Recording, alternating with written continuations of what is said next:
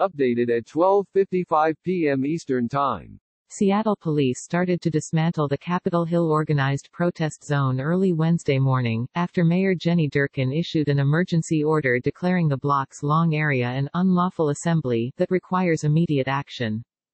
Durkan's order calls for clearing barricades out of the streets near Cal Anderson Park and the police department's East Precinct, two main landmarks of the zone that is widely known by its acronym, CHOP.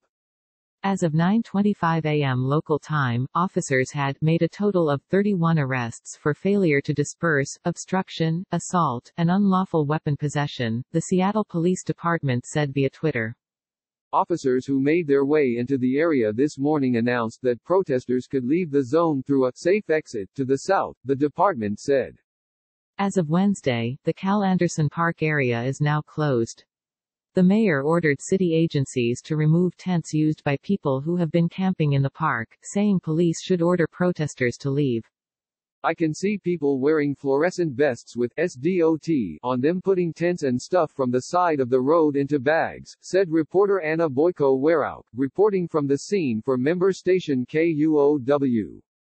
There are large clusters of police on every side, on the perimeter of the CHOP, some with bicycles, very heavily outfitted, some have coffee at this point in the morning. The protest zone was established in early June, when Seattle's Capitol Hill neighborhood and its prominent precinct building became a gathering point for protesters against racial injustice following George Floyd's death while in police custody in Minneapolis. But now, Durkan says, conditions in the area have deteriorated to the point where public health, life and safety are threatened. Seattle Police Chief Carmen Best said she supports the Black Lives Matter movement, but enough is enough. The CHOP has become lawless and brutal, Best said. She noted that several shootings, including two deaths, have occurred in the area, along with robberies, assaults, violence and countless property crimes. A large police presence is currently at the area to provide perimeter security for city crews offering services and performing environmental cleanup, Seattle police say. When Seattle police largely ceded control of the CHOP last month, protesters quickly formed a community of activists, artists and speakers.